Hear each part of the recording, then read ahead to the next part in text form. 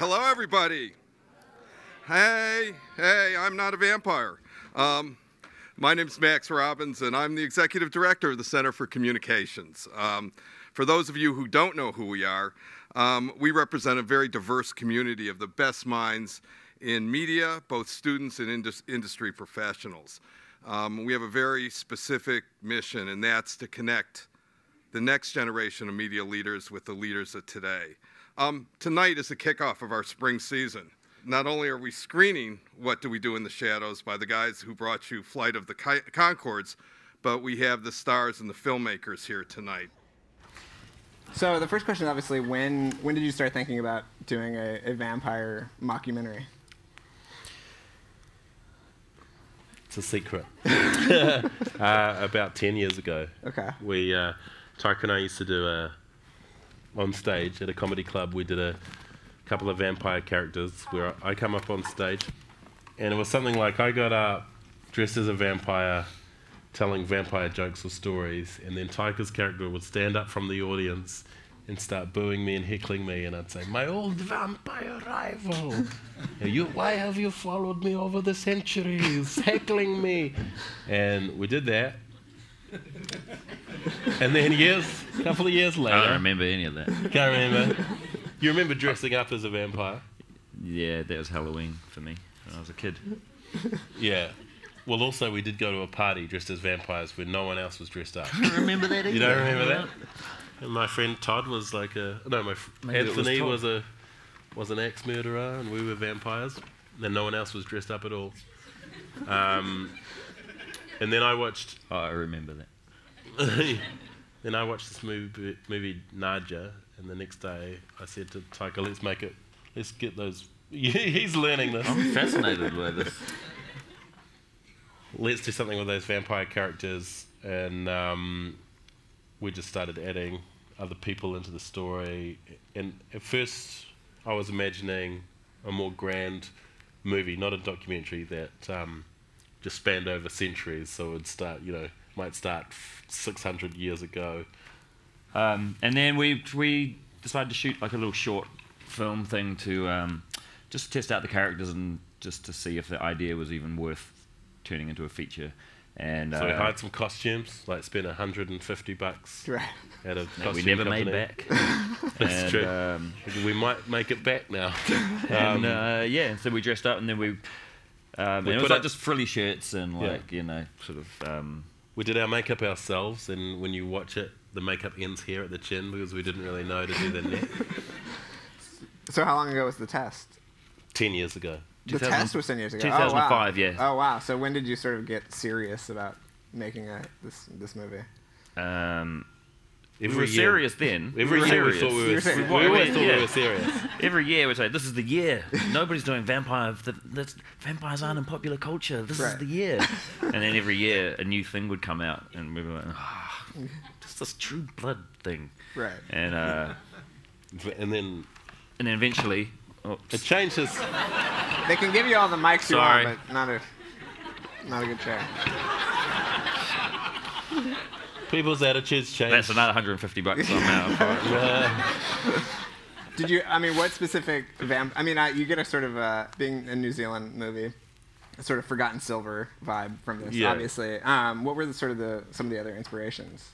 Um, Spinal Tap. This is Spinal Tap. Right. Um, obviously, I was inspired by Grey Gardens because I thought that you know that these um, these vampires living in this decrepit old house and full of mold and stuff was sort of yeah, it was, a bit similar. Right. we kind of have. When we've talked about this before, we often have completely different lists of films that inspired us. We wrote it together, but um, yeah, one for me was some kind of monster. That's the documentary following Metallica, and the way you never, you don't know who's going to be the main person they follow in that film. It's a surprise, so we wanted that kind of feeling too. That you don't necessarily have a protagonist. It might, it might be someone who doesn't turn up for 30 minutes who you end up following a lot. And how did you sort of fill out the the cast uh, and come up with other sort of uh, vampire, you know, archetypes? Well, we um, when we did the short film thing, we've, our characters are pretty similar to the ones we did ten Okay. years ago, and um, Not the same though. Not exactly the same. We have um, l- lighter necks. and um, I think we kind of the way I see it is we bait like Jemaine's characters like the Coppola Dracula, like the classic Thank you. Dracula kind Nice. of style. Thank you. Yeah. Um, my one is pretty much exactly like Tom Cruise and Brad Pitt. Um, and then Johnny's one is sort of like the Lost Boys, That's West Deacon. Coast, like Venice Beach vampire. Could be a vampire or just someone in leather clothes. Um, so yeah, and then Nick, I guess, represented like the new, the changing of the guard, like the new, um, this influx of like Twilight and these Right. hipster, Also- hipster vampires, sensitive, sparkly vampires. the kind of comedy that Taika and I did, and the other guy Johnny, Johnny Brugh, who played Deacon, did was uh, big and theatrical, and um, the guy who played Nick was playing clubs, and he was very subtle and small and mumbles. It's hard to understand him sometimes. So he was kind of a new guy on the scene. So we just sort of replicated our relationship in the comedy scene in, in Wellington. And what about Stu? Is that always a character? Stu, um, actually, in the short film that we made, Stu was my flatmate at the time. And um, Stu actually does, he's not an actor, he does IT in real life. And, um, so Stu was just helping us out by carrying gear and stuff when we were walking through town. And um, he doesn't talk much. Um, he's literally playing himself. literally. Like he wore his own clothes. And he. Um, He went back to even his, when you hear well, when when he's describing his job in the film, that's his job. so when people are looking at him looking confused, that's real because nobody, even I, still don't know, understand what he does. He's a geodatabase software al- analyst. I don't know if any of you could make sense of what he does, but that's what he he did at the time. And um, I remember one one time when we Stu's a great guy. he's a really good guy as we he's exactly as we portray him. Like he's He He's was just like always you say, oh, you want to go to a movie? He's the first one to say, yeah, I'll come. And he's like, he set up the wireless, the Wi-Fi router at my mum's house. Set up your guys' router. that's right. I mean, he's just so so so helpful. I wish he was here. I wish you guys could meet him. Me too. He would Um, fix all. He'd make this all streamlined for me. He went back to his 2005 haircut for the film, though. He's got a cooler haircut now in real life, but he he did, brushed it back forward to, to be his nerdy 2005 self. Well, the, the movie is great because it has this idea of the vampires being the sort of metaphor for how cool you are. They all they all want to be cooler than each other, and it's this great sort of metaphor. When did you sort of hit on on that initially?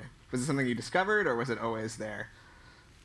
That that's in everything Taika does. Yeah.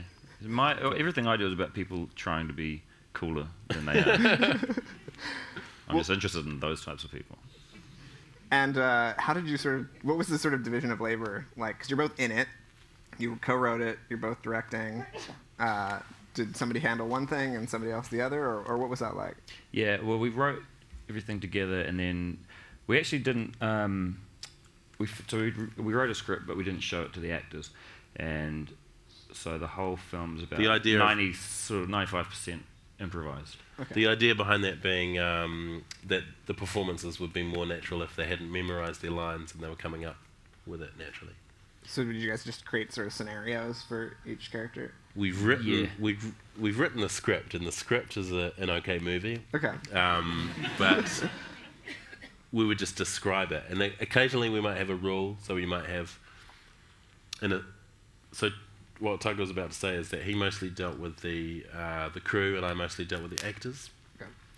But when dealing with the actors, say um, we might give them a list of insults for the for the part where the werewolves. We'd give them a list of insults to call us.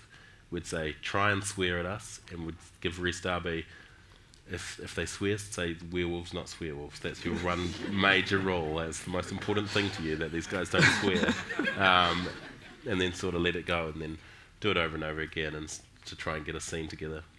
There are some some great sort of visual effects stuff in this. Was it hard to sort of maintain that while in this improvised kind of environment, or was that stuff very? Well, that stuff down? had to be all set up, and Right. we had to plan that, and um, But that's the most and then exciting it's just part the for us. dialogue that's Im- im- improvised. Like we knew story wise, like what had to happen, and um, you know we would like so but only we knew. Right. Yeah. But we'd have to say, um, John, you're gonna, Corey's gonna say that he uh, he alluded the vampire hunters hunter to us being a vampire, uh, va- being vampires. You're gonna chase them up these stairs. You're gonna go around here, and then you're gonna run in this room that's gonna turn around and round while you're in it, Right. and then you improvise the lines while Just- you're up there, and just then like- you have to just like slip out the door. Yes. Exactly the same.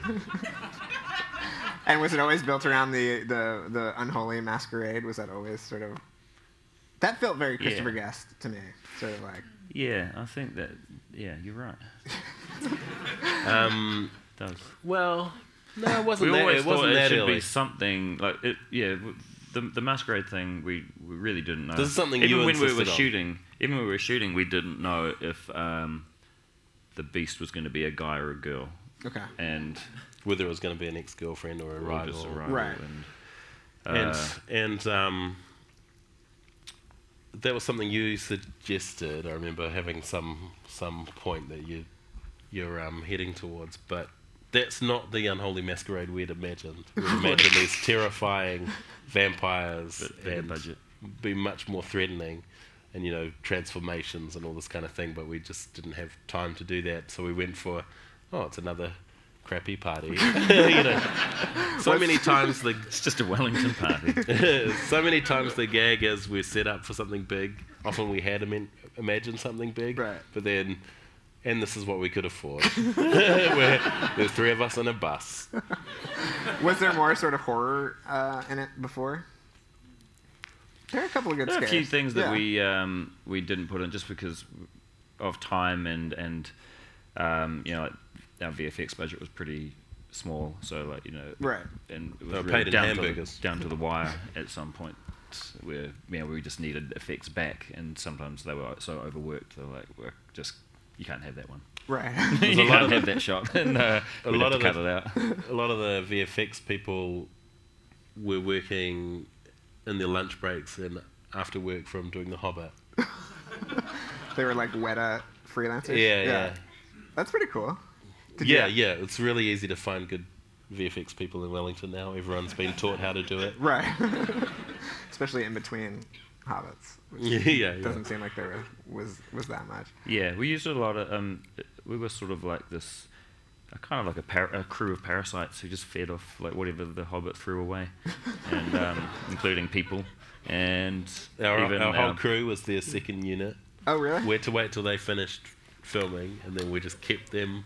We used the cameras from the Hobbit. Um, the, um, Thank God you didn't use the 48 frames. No, that's That right. But, um, no, so Peter um, gave us a couple of cameras to use and a bunch of lights and stuff. So that yeah, that, he was pretty generous. And um, This, the set is made of the old green screen from The Hobbit. Oh really? yeah, that they threw away, and we scavenged That's and pretty nice. uh, turned into a house. Did he offer any advice? He's sort of the king of the horror comedy. He's just the king. the king. he's He the New the Zealand king. King of New Zealand. Yeah. Yeah. He didn't offer advice, but we did have a meeting with him early on to see if he could help, and he was very enthusiastic. So I think that spurred us on a little. He needs to make another horror movie for sure. Hmm.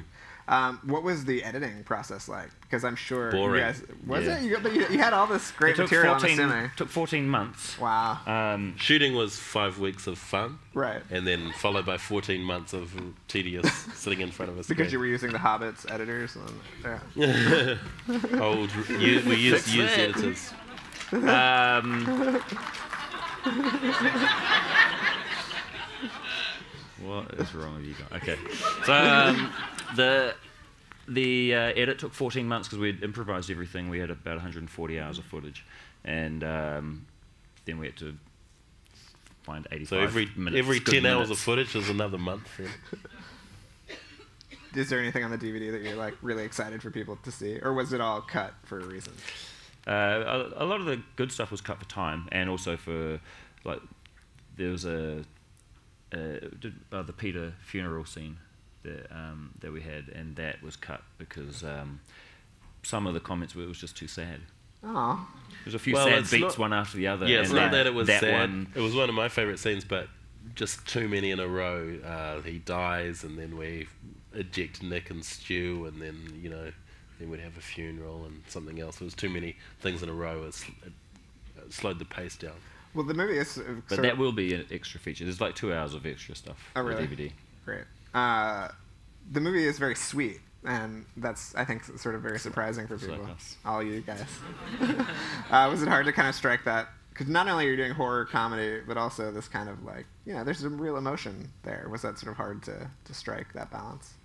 Yeah, well, that was why it took so long. I think is um, not, a, not not only having to watch all the footage, but find the balance between comedy and story. And 'cause we wanted it to be super funny, but often like the first, the earlier cuts, we just put nothing but jokes in, and didn't concentrate on story, and no one really cared about the characters or paid attention to the film. And then um, That's the just jokes version. and then later on, then we tried a version where we just concentrated purely on story, and it wasn't very funny. Right. But the, Understandable, but not that funny. and, uh, But so the- it was But you, that but you cared a lot. Yeah. Yeah. the drama bits were kind of the f- first things that we thought of, like um, Taika's character being in love with someone who had moved on and he still hasn't moved on. Those kind of things were the, the um, dramatic parts were the first things we thought of in But story. also, we find that stuff funny. Right. Uh, can you talk about the sort of the rollout of the movie? Because I saw it back at South by last year. It premiered at Sundance here, right? Mhm. Uh, what what has that whole journey been like? And now you partnered with Funny or Die uh, Yeah. to bring it out, right? Yeah, and we Um, just um, our Kickstarter campaign to um, raise money to get it to more cities across America just finished about an hour ago, and we were it's successful. all right, we made it. Oh, nice! Well, congratulations.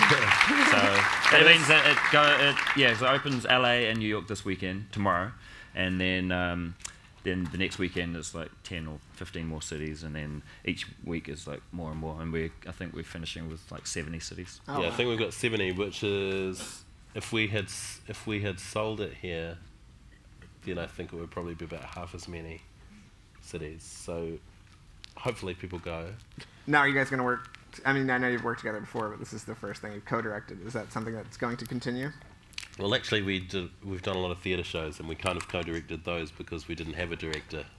um, but yeah, this is the oh, and the short, but this yeah, the first film. Right. I, I don't know. I guess we don't need to. No. We don't need to. We might direct each other. Who knows?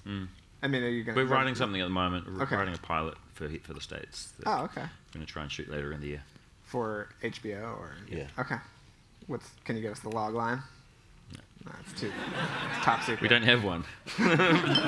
it's an anthology show. It's Oh, cool. about logs. It's about logs. Okay, great. Um, I think we're now gonna have some audience questions. So if anybody wants to come to another one of the two microphones, Oh yeah.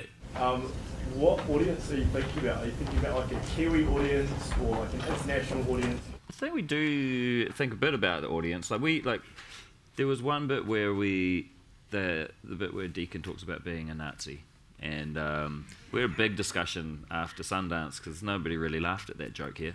Yeah, we played And, it in New um, Zealand, uh, tested it out, and there was a big laugh. Especially, what's different is the certain kind of humor. People in other countries, this is what they're saying about Americans, that Americans don't do irony, they don't understand it, and I don't agree with that. But there's a kind of irony that doesn't translate here, and there's the part where, where Deacon says, "I don't know." If you know, but the Nazis lost the war, and And that's a really big joke in New in New Zealand. Zealand, it's like in But New people Zealand, here in the audience were like, "Of course we know that." Well, yeah, the same. it's the same line because in New Zealand we go, yes, of course we know that. That's funny. And then in America, of course we know that. That's not funny. no, there's something. There's just in a couple of little moments where but the joke's dead. we jokes left it. Yeah. yeah. We didn't, we didn't know if it had ever come out here, so we, uh, we. The dream came true. I just want to thank you guys for coming out. Thank you for Thank having you guys us. so much.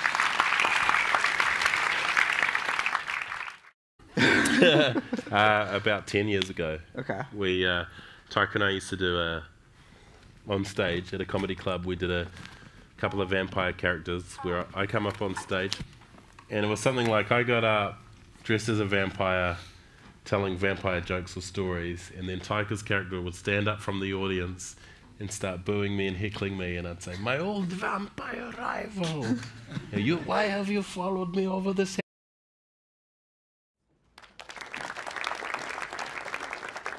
Hello, everybody. Hey, hey, I'm not a vampire.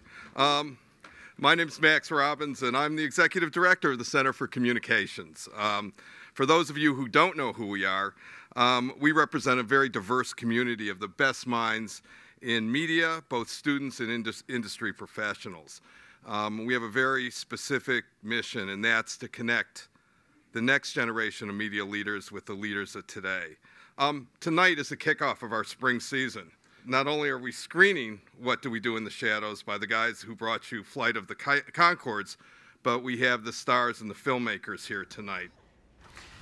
So the first question, is obviously, when when did you start thinking about doing a, a vampire mockumentary? It's a secret. Centuries heckling me. And we did that. and then years, a couple of years later. I don't remember any of that. Can't remember. You remember dressing up as a vampire? Yeah, that was Halloween for me when I was a kid. Yeah. Well, also we did go to a party dressed as vampires where no one else was dressed up. I don't remember that either. You don't remember that? And my friend Todd was like a no, my fr- Maybe it was Anthony was, a was an axe murderer, and we were vampires. And no one else was dressed up at all. Um, and then I watched Oh, I remember that. then I watched this movie, movie Nadja, and the next day I said to Taika, let's make it, let's get those. He's learning this. I'm fascinated by this. Let's do something with those vampire characters, and um, we just started adding other people into the story. And at first, I was